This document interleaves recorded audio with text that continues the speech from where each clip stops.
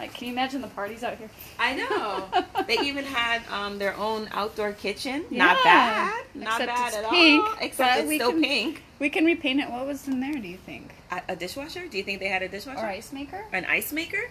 Something where they put drinks? Yeah. Maybe. Or yeah, like a refrigerator.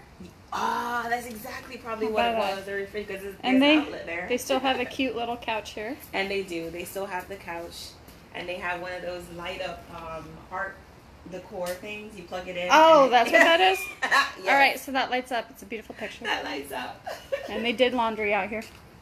Yeah, yeah, they did. They have their own uh, laundry line. But you know what? The backyard is pretty. It's decent. It's decent. It's not I bad. Like. Yeah, You could have your own little garden too. Mhm. This is Very a nice cute. space. It's enclosed and uh, it's uh, fenced, which is also the fence right there is coming down, but that's Yeah, that's that's a, a panel at Home Depot. Yeah, there's like one panel at Home Depot. We'll fix that up really quickly. Well, and you know what I like most about out here is the, the tile. Now, out of all six different tiles, the tile is is pretty. yes, I like it. This is the best. This is 24 by 20. It's it's massive. Like I don't even understand why would they do 24 by 24, 24 tiles out here. This is pretty big. It is big. It is big. That must have been fun laying that floor. Okay, It works. that's what they did. So we'll work it out.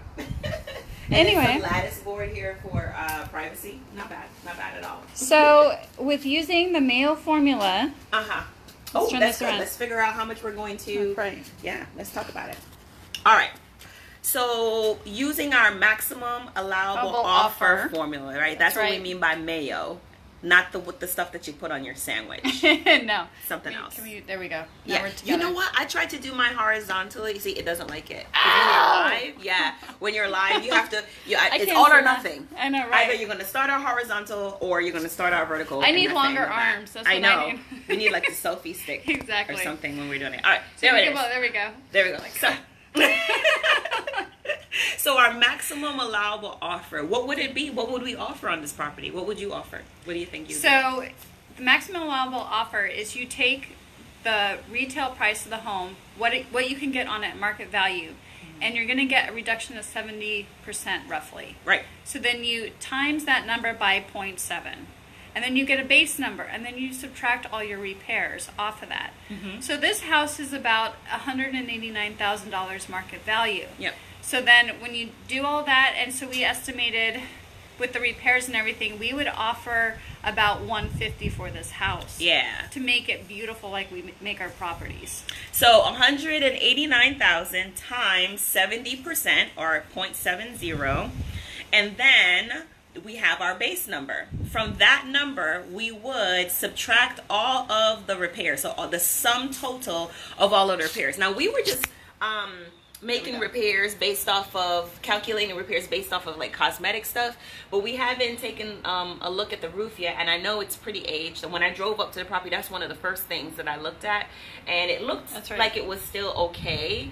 But at the end i did see some um, some water stains some water intrusion on the ceiling so that's a telltale sign that the roof needs to be replaced right Yeah, so, and, and the fact you don't know how long that, that attic access has been in the shower. yeah the attic in the shower Yeah, the attic in the shower.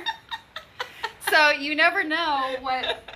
I, I would look there too, and I would inspect going up there because I bet there is some mold intrusion going up in there. there is a lot of yeah there's some mold and some some stuff going in there so like even conservatively i would probably um, estimate about $20000 for this house would you agree Yep. easy easy 20000 so if you whatever number that we had I, I can't i don't have my calculator you got your calculator it's Yeah. on the phone all right we're gonna go phone. we're gonna go to the calculator and see if we can a hundred and assignment fee and closing fees if you're not transferring it to you know your cash buyer at the end so we're really looking at like the low 100s for this property Yeah. So um, Mhm. just I to so. reiterate what Jackie said is when you want to get this at a discount of about 70% minus repairs for your Mayo formula, it brings it down to about 132 is what we would ask without repairs.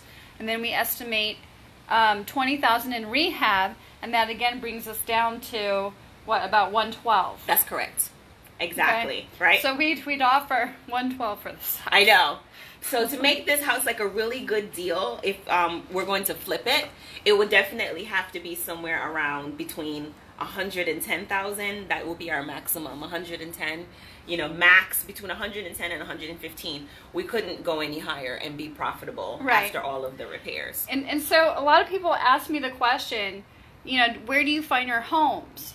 And this home was found on the MLS. Mhm. But I guarantee you, they wouldn't accept our offer. Yeah, yeah. So a lot of our homes that we rehab and how you actually make money is done through off-market marketing. Right. This is very, very true. So, what Christine is referring to is properties that are listed on the MLS um, versus properties that are not on the MLS, right? So, they're not being marketed at all. There's a difference.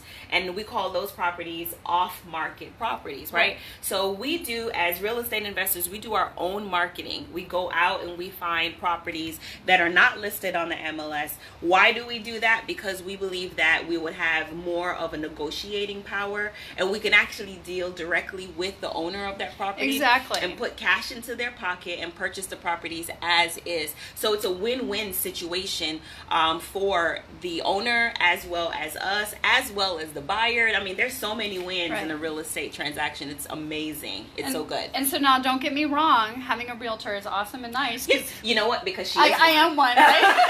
she is one. I'm so one we're not too. trying to cut. We are not trying to cut the realtor out, but it, you get a deeper discount sometimes. Sometimes, Exactly. If there's no realtor. But I want to put this thought in, in your mind, right? Okay. Even though you're a realtor, you can still help people out and actually help the investor out. If you help, if you can be that person who negotiates between both parties, you can actually create a win-win that works for both of you. That's right. So that would be um, the commission on the listing side, as well as the commission on, on the buying side. So the if there's one realtor and they're doing both um, sides of the transaction, then that's the one they win the most. I think. Right. Yeah, definitely. Yeah. And you know, there, there's many ways you can work commission in.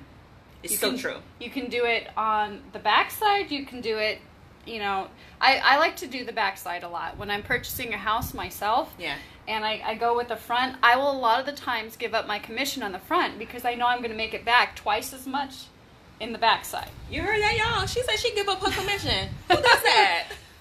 An investor An realtor. investor realtor does that because there's a greater reward at Right. the end, right? right. That makes sense. And we're going to teach you all of these strategies at the three-day real estate workshop here in Orlando, February 22nd um, to the 24th. And we have the bus ride, and we're taking you out to properties just like this. Some of them are going to be pretty. Some of them are going to be not. Exactly. yeah. Some of them might be pink. Some of them might be pink. Some Some of them might be just not.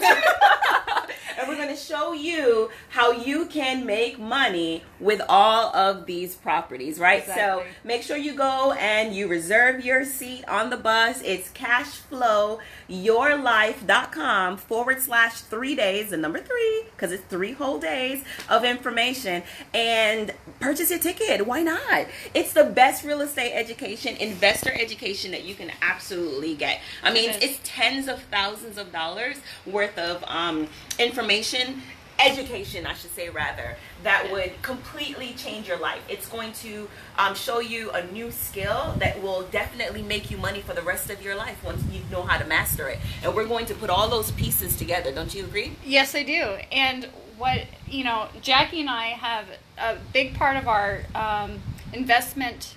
I guess what reign or whatever you want to say. yes we reign we take over the world that's do. what we do we, We do. conquer we divide and conquer That's it. All right.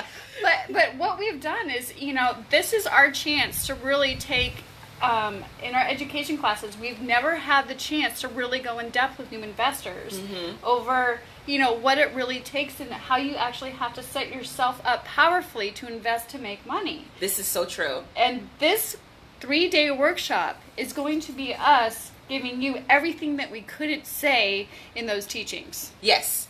This is very, very true. I mean, it's insider information. We are pulling back the curtains, being very, very transparent and open with you guys, just to let you know exactly how it's going to be, how you can make money, how it's done, step by step, hand holding, so that you get it. When you leave, you will know how to be profitable flipping properties. You sure will. That, that's right.